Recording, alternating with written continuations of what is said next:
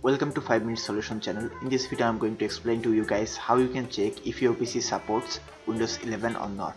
So i'm using windows 11 but the process is like same in windows 10 all you have to do is just uh, go to your web browser and search for pc health check windows 11 so once you have like a search then you have to click on get uh, windows 11 and right click on it and click on open in new tab. And here you can find the option uh, check for compatibility option.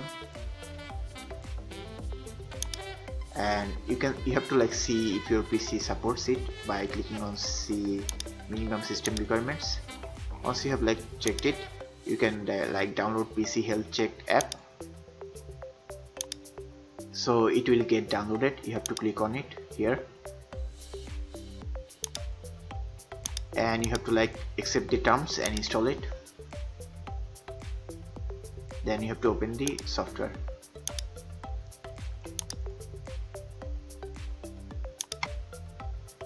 So here you will find introducing Windows 11 and you can click on check now.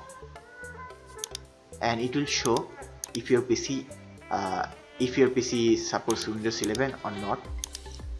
And it says uh, the, the processor isn't currently supported for Windows 11 but I am using Windows 11 on this computer because there are ways you can like uh, install Windows 11 on any computer regardless it supports or not. So you can search on internet for that and like install Windows 11 on your computer even if your computer doesn't support Windows 11 so that's all for today. If you want more videos like this then like comment and subscribe. And also thank you very much for watching this video